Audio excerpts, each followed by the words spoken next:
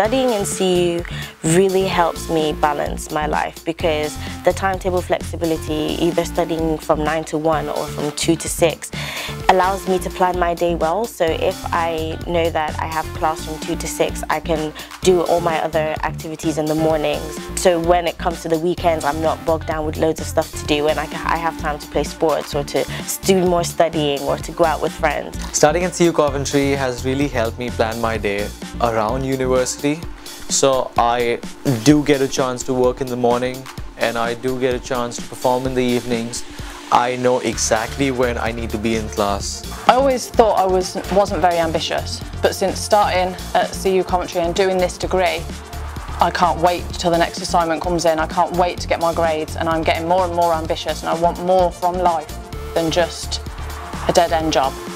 Tutors are very supportive and they all want to help me.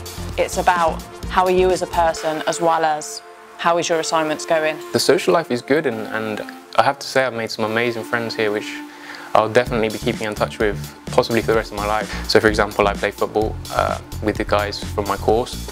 Uh, we recently started playing the guys in the year above us, so there's a good little bit of banter and rivalry there. The Careers and Employability team helped me get my placement um, through helping me tailor my CV. I did a placement in PwC and I did one in AB and David and I currently have one pending in Deloitte and Touche. They were amazing, they were great opportunities. Class sizes are a lot smaller, which means that you get a lot more one-to-one -one support from tutors.